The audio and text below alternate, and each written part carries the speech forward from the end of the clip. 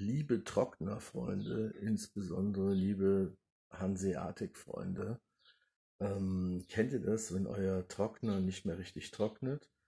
Wenn auch dazu noch die Wäsche so ein bisschen muffig riecht und wenn die Schublade, in der sich das Kondenswasser her ablagert, wenn die einfach nicht mehr voll wird. Und man fragt sich, was ist da los?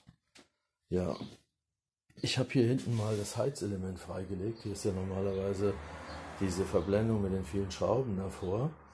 Wenn ihr die drei Phänomene an eurer Waschmaschine habt, dann schlage ich folgendes Verfahren vor. Ähm, man kann mal die Seitenwand abmachen und sich hier zum Pumpensumpf vorarbeiten.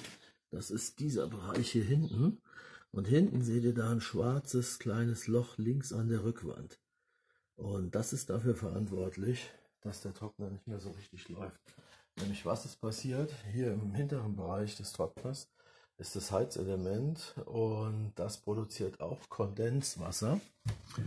Ähm, dieses Kondenswasser hat einen Rücklauf, nämlich den hier. Und wenn dieser Rücklauf verstopft ist mit Flusen, dann äh, ja, fängt es an zu stinken.